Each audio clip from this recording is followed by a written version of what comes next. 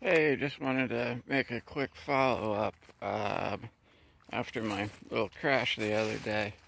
Um, no problem anywhere what to speak of, really.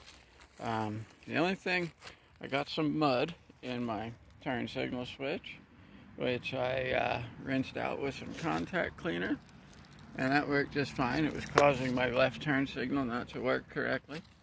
Um, and down here on the skid plate, a little bit of just tiniest little scratch. May have saved the engine. I don't know if it really would have hit or not, quite honestly.